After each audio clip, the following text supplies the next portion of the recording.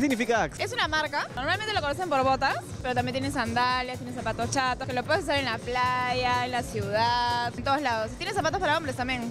Yo tengo mi canje ya con Bruno Ferrini, disculpa. Gracias. Siempre la veo en todos los eventos y la entrevisto. Van a pensar que es porque es mi flaca. No, es porque estoy trabajando y antes la entrevistaba igual, ¿sí o no? Sí la conocí. ¿Te acuerdas, Jano, cuando la conocí así? Sí, pues. Así metiste floro. No, no, yo no hago esas cosas.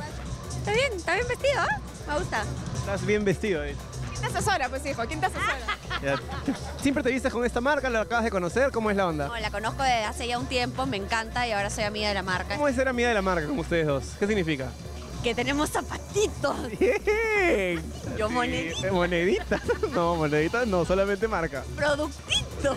Bueno, espero que la pases muy bien, ¿ah? Gracias, tú también, diviértete. Lo haré. Estoy trabajando yo, pero intentaré pues divertirme.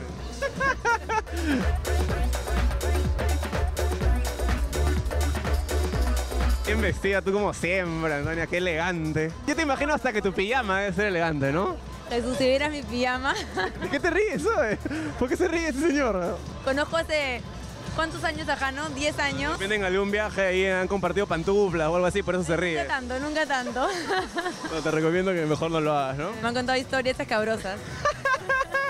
Axe es una tienda solamente de accesorios, de zapatos o también accesorios, porque me parece que también hay accesorios. Zapatos y carteras, billeteras, monederos, Ahí listo, estoy informado. zapatos para hombres, mujeres, niños. Para hombres también. Hay de todo, hay hasta estas botas para hombres también. Tanto no me da la modernidad, creo, ¿ah? se van, se van todos. ¿Has visto el efecto que tengo en la gente? Sí, maleazo.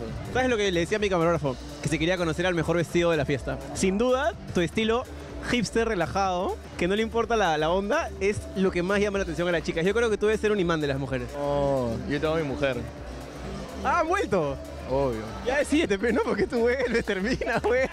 Ya pues hermano, ya estamos grandes para eso. ¿ah? Están destapadas, ¿tú qué pasa? Las ropas son... ¿Ese es el outfit de la noche de- para ti? No, me provocó vestirme así hoy día. Dije, vamos al Arcomar a pasear en bikini. ¿Por qué no? Yo estoy seguro que todos los televidentes se lo van a agradecer. ¿no? Todos deberían intentarlo, venir así a pasear de noche en Te has bikini. cambiado un poco el color de pelo, te queda muy bien. ¿Qué observador eres? Tú ves más allá de, de la belleza física. La sonrisa, Qué aura. ganadora tu novia. Voy a acabar la entrevista. Bye.